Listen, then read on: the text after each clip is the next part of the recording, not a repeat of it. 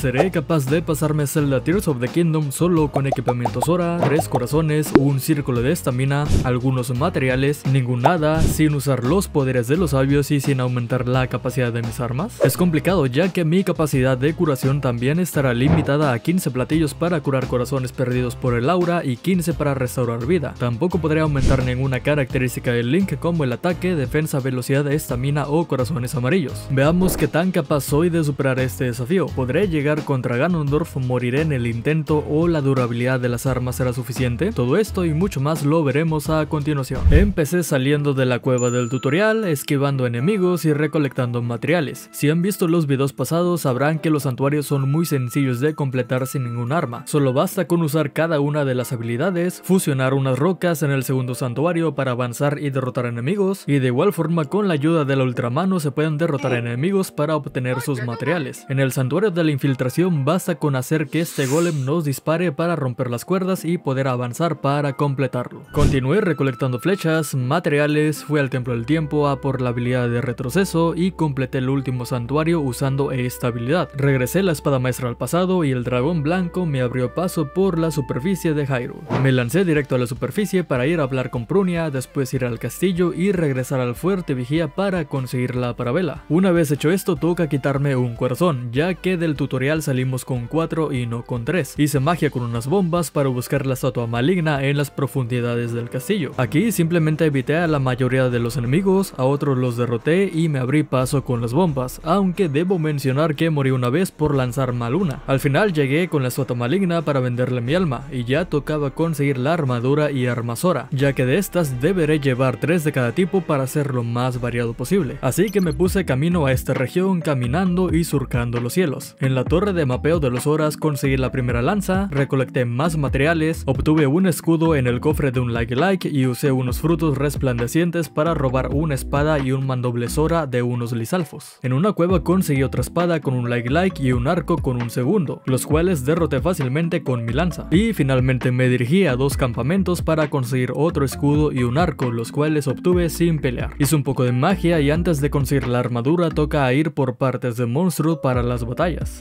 Lo que fui al subsuelo, caminé mientras recolectaba bombas, flores aturdidoras y hongos exhaladores, ya que para las batallas llevaré un máximo de 50 objetos de cada tipo, pero tampoco abusaré de esto para que el reto sea más desafiante. Llegué contra el Santaleón rojo acorazado fuera del coliseo flotante. Este enemigo me mató una vez, pero derrotarlo es sencillo. Solo basta con esperar a esquivar y aprovechar las oportunidades para montarlo y atacarlo en la espalda. Y de esta forma no se consume la durabilidad de las armas. Además de que también es bueno dispararle flechas a la cabeza para atacarlo de la misma forma. Después de unos parries, flechazos y ataques lo derroté, así que me dirigí al coliseo para conseguir más materiales. Y sobre esto solo podré llevar 5 cuernos de cada tipo de centaleón y fusionar mis armas con distintos materiales para no llevar siempre lo mismo y lo más fuerte. En el coliseo flotante morí un par de veces, pero todos los centaleones los derroté aplicando la misma fórmula. Esperé a montarme en ellos, le disparé flechas y los ataqué en la espalda. Y estas serán todas mis armas para conseguir la armadura Sora, derrotar de forma seguida a las 4 hordas de enemigos, 6 jefes y las 3 fases de Ganondorf. Las armas Sora no hacen un gran daño, pero este se duplica al estar mojado y cuentan con una durabilidad decente. La espada y mandoble tienen 20 puntos de durabilidad, la lanza 26 y a estas se les añaden 25 puntos extras al fusionarlas con un material, mientras que los arcos solamente cuentan con 40 puntos. Una vez que tenía listas mis armas fui de nuevo con los Sora para conseguir la armadura. Lamentablemente para conseguirla completa hay que completar el templo del agua, lo cual significa que Sidon estaría ayudándome en la batalla final, pero esto no debería suponer una gran ventaja para mí, además de que no repondré las armas ni materiales que gaste de aquí en adelante. En fin, conseguí la parte del torso de la armadura Sora, hice toda la misión de encontrar al rey Dorfan y conseguir las escamas de este, y después de esto hay que derrotar a un mini jefe, el cual es muy sencillo. Con unas flechas fusionadas a mis frutos acuosos y algunos ataques lo derroté sin usar el poder de Sidon. Entré al remolino y no sabía que era posible completar esta parte sin tener que subir el nivel del agua. Una curiosidad anotada para otro video. Se me olvidó que en la isla con forma de pez se conseguía el casco Sora, así que regresé para obtenerlo en un cofre oculto. Después de esto inicié mi travesía para llegar al templo del agua y en esta parte es obligatorio usar el poder de Sidon para activar los interruptores. Hice uso de su poder cuatro veces y esquivé a todos los enemigos, por lo que ya tocaba enfrentarse al Fangorok. Sinceramente este jefe no me representó ningún tipo de problema aquí ni a ningún reto pasado, solamente me hizo daño pero me curé con mis materiales. Y para derrotarlo solamente lo ataqué con flechas de agua, mis armas y usé una lanza fusionada a un ópalo para ayudarme de mejor forma en esto. En fin, lo derroté, me dieron el poder de Sidon, el cual no usaré ni mucho menos usé contra el jefe, regresé al remolino de agua para conseguir de una vez por todas la armadura completa de los Zora. Fui al fuerte vigía y preparé mis 15 platillos contra el aura maligna y 15 para restaurar corazones e ir directo a enfrentarme al resto de enemigos. Y este es mi equipamiento para el resto del reto, 5 arcos, uno ya usado, 4 escudos nuevos, 3 espadas, 3 mandobles y 3 lanzas, de las cuales 2 estaban dañadas y cada arma cuenta con una fusión distinta. Entre mis materiales destacan 50 bombas, algunos frutos acuosos que me sobraron para usar el buff de mis armas, algunos ojos de Kiss, unos cuantos hongos exhaladores y flores aturdidoras, y ya verán por qué estos últimos son importantes, y también algunos artefactos zona. Me lancé al abismo del castillo, a los Roblin los confundí con las flores para poder escalar de forma tranquila, a los Kiss eléctricos los ataqué con una bomba pero morí por pendejo, pero el centaleón blanco ya me estaba atacando, así que no quedaba de otra más que partirle toda su madre. Le hice parries, le di flechazos en la cabeza y lo derroté de la misma forma que los anteriores con ataques en su lomo. Ahora toca una parte difícil, la de los enemigos de hielo. Morí una vez más, pero al final logré atravesar la zona y lanzarme directo para llegar a la zona del puente destruido, en la cual simplemente esquivé a las manos de Aura Maligna usando la infiltración. Distraje al Bokoblin y a los Gibdos los exploté y quemé con frutos ignios para obtener sus costillares. Me abrí paso con las bombas y mientras grababa esta parte se suscribió Josh259, así que si estás viendo esto, un saludo. Llegué a la zona del combate final y mi equipamiento y armas son los mismos, solo que cuento con un arco y tres platillos menos. Me lancé para enfrentar a la primera horda de enemigos compuesta por Bokoblin, aunque Sidon estaría presente, pero en todo momento trataba de llamarlo silbando para que no atacara mucho. Mi estrategia para estos enemigos fue confundir al gran Bokoblin para que me ayude a matar a los pequeños, juntar a los Bokoblin más débiles para derrotarlos con un parribomba del cual puedes ver la explicación en este video, ya que de esta forma me quito a los Bokoblin rojos y si estoy cerca de la orilla los aviento al vacío. Y finalmente a los restantes y más fuertes los derroté con ataques sigilosos dentro del humo de los hongos exhaladores, y el gran Bokoblin simplemente lo congelé para empujarlo al vacío. A los Lizalfos los derroté con frutos resplandecientes, ataques sigilosos y unos cuantos flechazos. Con el ejército de Gibdos apliqué una estrategia similar a la de los Bokoblin. Los ataqué con un parribomba y los terminé de derrotar con frutos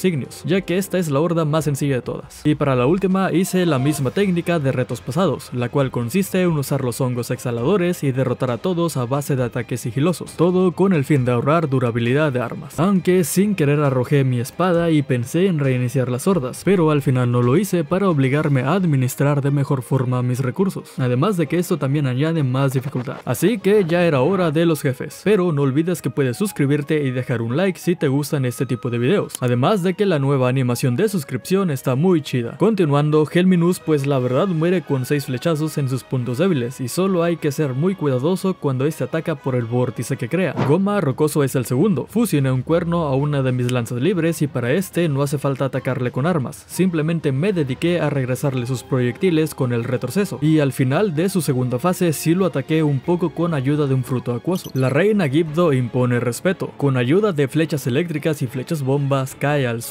para poder atacarle fácilmente, aunque Sidon anda conmigo no hace mucho ya que no puede atacar muy bien a los jefes y solamente ataca a la reina. Destruir las colmenas de la segunda fase, maté a los Gibdos con bombas y frutos ignios y después de esquivar los tornados de la reina y con mucha ayuda de mis arcos terminé derrotándola. El golem corrupto es el más difícil de todos, para este usé mi lanza fusionada con un cañón ya que gracias al reto pasado descubrí que con esto es la forma más efectiva de aturdirlo. Me puse baterías con las esferas Sonan que tenía y la estrategia era aturdirlo con la lanza para después acercarme y hacerle un ataque giratorio con la espada, ya que esto lo empuja bastante contra las cuerdas. Solo había que atacarlo rápidamente una vez aterrizara después del salto, y también me di cuenta que un ataque giratorio sirve para aturdirlo, pero la lanza es más efectiva, y su segunda fase simplemente es un poco más de lo mismo. Y ya solo faltaba un último jefe antes del mero mero. De armas iba relativamente bien, los arcos empezaban a escasear ya que los usé mucho con la reina y tengo que hacer uso de ellos para derrotar a Phantom Ganon de forma sencilla y sin gastar tantos recursos, ya que la mejor manera de derrotarlos es hacer que se junten todos o una gran parte de ellos para dispararles flechas bombas, aunque algunos tiros no eran muy buenos que digamos. Sidon los distraía pero constantemente silbaba para que no se entrometiera mucho. Continué atacándoles con flechas bombas, ellos me atacaban pero me podía curar fácilmente. Y la segunda fase es más de lo mismo, atacarlos con flechas bombas aunque estas se me estaban acabando, por lo cual también usé bombas de tiempo, y el Phantom Ganon que esparcía el aura maligna también lo atacaba de lejos. Ningún jefe representó un gran problema ya que los tengo muy dominados después de muchos intentos de los retos pasados, ya que si muero en cualquiera de estos tengo que repetir todo el proceso desde el comienzo de las hordas.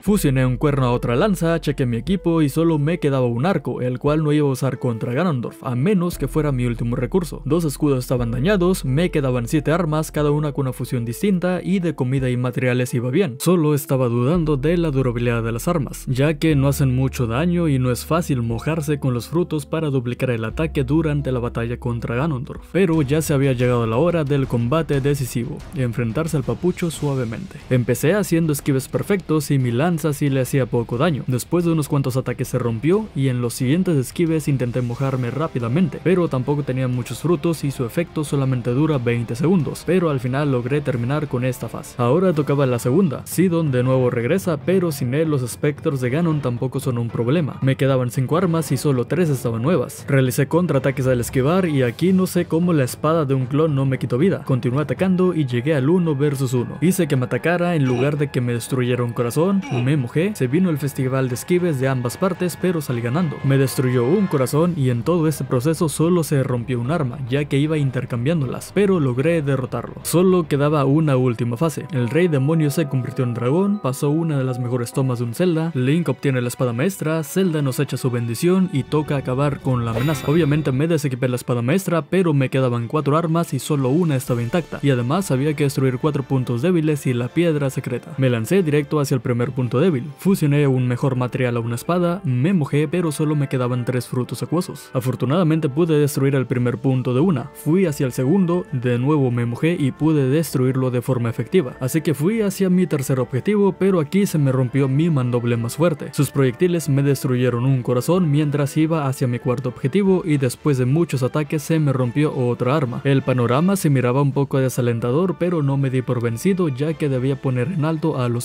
Oscar Saldaña Alaní se suscribió en este momento de grabación, así que también un gran saludo. Y ya solo faltaba lo último, el último punto débil que brillaba en medio del cielo carmesí, la piedra secreta de Lozona. Me lancé directo hacia ella con el fin de destruir la fuente de maldad que tanto acechaba y enfermaba a los ileanos. Se rompió una espada, pero aún me quedaba una como nueva. Pero noté que sí lograría acabar con esto, así que destruí mi última espada y decidí hacer algo distinto, algo que me dio la victoria del reto pasado. Usar mis escudos como armas porque las espadas y armas con filo no son las únicas capaces de destruir una gran fuente de poder como la de Ganondorf. Con los escudos pude lograr acabar con el rey demonio, solo faltaba darle el golpe final, el cual sí o sí se tiene que dar con la espada maestra, pero si es posible completar Tears of the Kingdom como un Sora. Estos serán los siguientes desafíos que estaré trayendo al canal. Deja tus propias ideas de retos en los comentarios. Suscríbete y también deja un like ya que este tipo de videos llevan mucho tiempo de grabación, edición y dedicación. Espero que estés atento a los próximos retos y videos, así que bueno, de mi parte es todo y sin nada más que decir, un saludo y hasta la próxima,